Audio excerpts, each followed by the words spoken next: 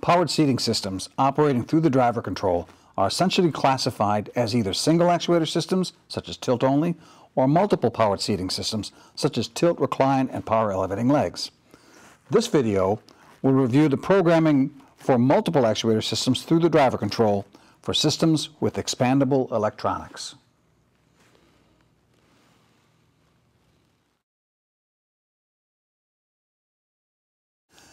As covered in an earlier video titled Programming the Four-Way Toggle and Quad Push Buttons, a multiple actuator interface box is required to enable powered seating through the driver control for systems with multiple actuators.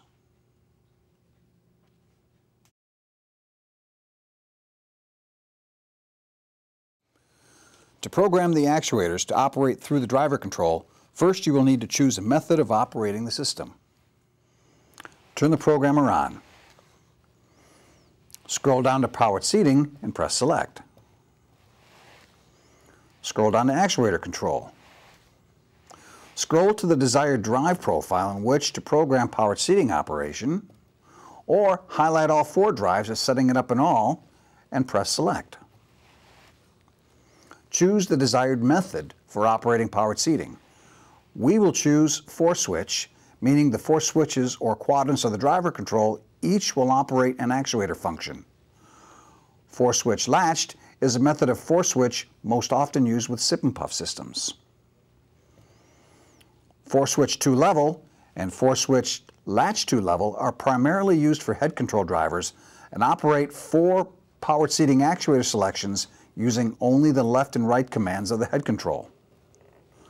Momentary one switched and latched one switched are options from the Mark IV systems and are primarily used for users who are accustomed to these settings and do not wish to change.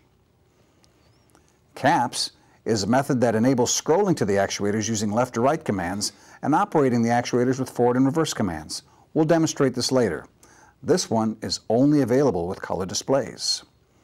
We wanted to choose 4-switch for this system, so we'll come back up to 4-switch and press select. All four drives are highlighted, so we'll be setting it up to operate in all four drives.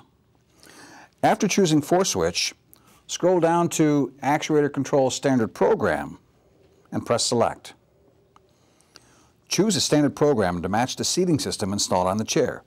The abbreviations used are straightforward. TRL is for tilt, recline, and legs, which is the configuration on this chair. TR are for systems that are tilt and recline only without power legs. T only is for tilt only, and so on. Highlight the correct configuration and press select. Each quadrant of the driver control now operates the powered seating system according to the default program for that system. In the TRL program, forward is automatically set to tilt up down, reverse is reclining legs together up and down, left is leg up, and right is leg down. We'll demonstrate this for you soon.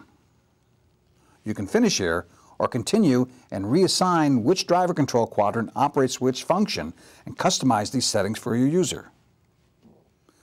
To customize these settings, scroll down to the next menu choice, Actuator Selection, and press Select. Scroll down the list to the desired quadrant. In this case, we'll choose left and press Select. Choose from the list which actuator function you would like to choose. In this case, we will choose recline up and down and press select. And we'll choose the right command and change that to leg up down and press select. Don't forget to save and save again to save all changes and your system is now programmed as you need. Now that you've finished programming the chair to operate multiple actuators through the driver control, let's see what two of the options look like. We programmed 4-switch into drive 1, so when I use the mode switch to go into powered seating, you'll see how the four quadrants of the joystick are each assigned a different actuator function to control. Let's go back to the driving menu. Now let's go to drive 2, where we have CAPS programmed for, to operate the multiple actuators of this system.